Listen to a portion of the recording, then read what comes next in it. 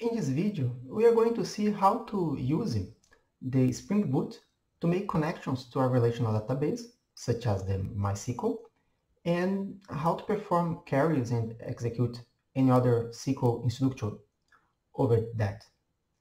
Okay, basically here we have uh, a default MySQL installation.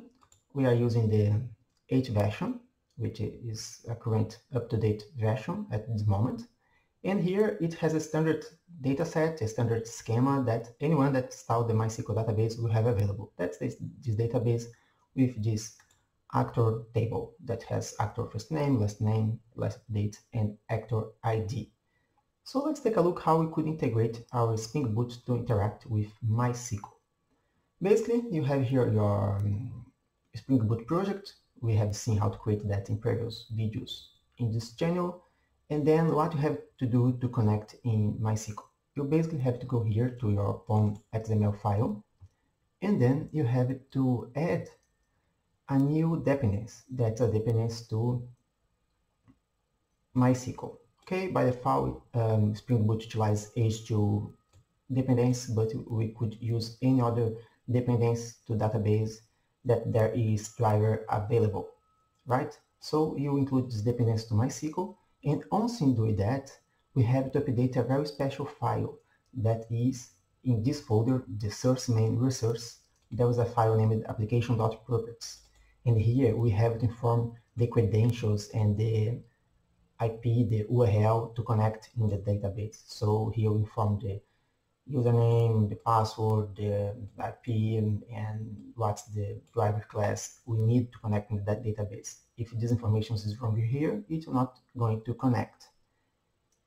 Another important feature here is this JPA um, creation strategy. Normally set to none because I don't want to mess the data set that's shown already uh, delivered, already created in the database.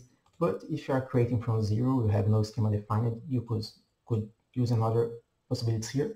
But I like to set that as none. So I, am assuming the database is already available as is in this example. Right, so we have done two things until now. Included the MySQL dependence and then add the properties to connect on that. Now how we could go to this table and perform a select. Okay, step by step, we are going to start with the repository. That's a very powerful resource of Spring Boot. To use repositories, we first need to define one entity. So we create an actor class. We don't need to map all columns. So here just map the actor ID, first name and last name. You can see that the, the last update date is out because it's not important to my scope. So I have just mapped the interface and flagged this that as an entity. And here we have the table and the columns, everything mapped, the attribute we have in the object-oriented programming, and the respective table in the database. Once this entity is defined, you can then go to the um, repository itself. That's very simple. It's just one interface. Look, you create a new class, not a class, actually an interface, no implementation, just annotate that as a repository and inform the class name that is actually one entity. Once you have done that, what will happen? We will have available a set of methods already implemented that will allow us to insert new records, to delete, to update, to, to filter. So it's very powerful, this repository. So just by creating this repository, now we are able to interact with the database. So let's come here to a service and look here. Here we have using this auto-wired annotation. which we can map to one actual repository object, so actually an implementation of the interface, but don't have it to implement that directly. The, the framework automatically do that for, to us.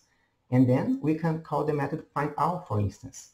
We have not implemented this find all method, but it's automatically available because it's a repository. So it will give to us all actors that are here in the table available to us and then we are going to present that in the interface when one request is performed to slash actors endpoint. Let's take a look on that. Here actors we can update that and here all of them are displayed one per line as we have programmed here at this point. Perfect. At this point, I think everything is clear until now. Uh, so here we have actor object with our attributes available. But you could imagine sometimes, maybe, you have to do some more some more complex queries. Maybe you would like to have more control over the SQL that's going to be executed in your database. So you also can do that. And for this purpose, you have it to create one attribute here in your controller that is persistence context, and then mapping that to an entity manager reference, to an object reference. Once we have done that, we can use this entity manager to perform SQL operations directly into the database. It's what we have here.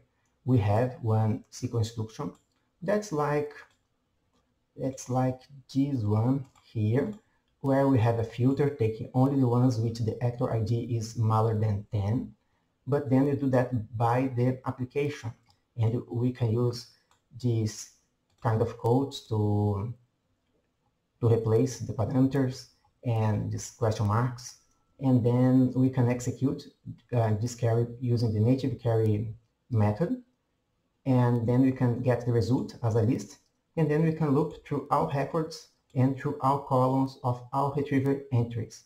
So when we executing to filter just the ones with the actor ID with which the value is less than 10, if we execute that directly in the database, we can see we receive here just a set of entries, nine entries. Actually, here nine, nine rows were returned.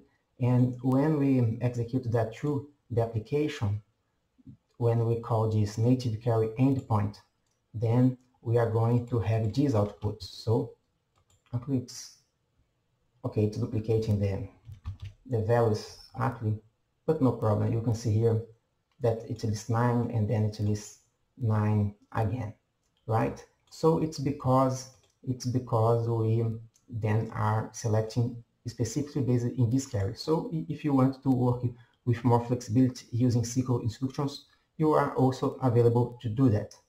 So that was the goal of this video, showed you how you can interact with Spring Boot and MySQL and how to use the repositories or how to use Entity Manager according with your demand. Okay, thank you for watching.